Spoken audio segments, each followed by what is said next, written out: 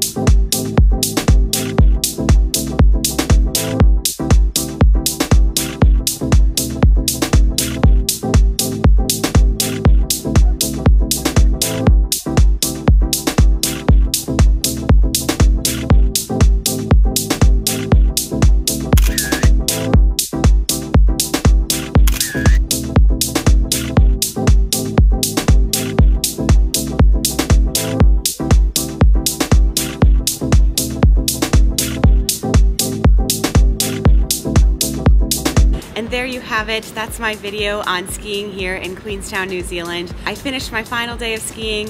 I need to relax, so I'm about to have après ski cocktails at Little Blackwood here in town. Catch you in the next video. Bye.